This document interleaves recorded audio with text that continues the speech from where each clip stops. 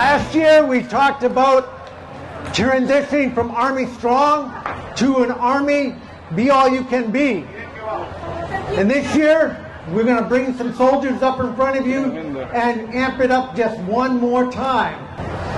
Again, I'm John Mitchell Hendricks from Garrison CSM. It is great to see everybody out here tonight. Bueno, ahora tenemos un, un juramento, una, una ceremonia muy especial que vamos a ingresar al ejército de la nueva generación de soldados.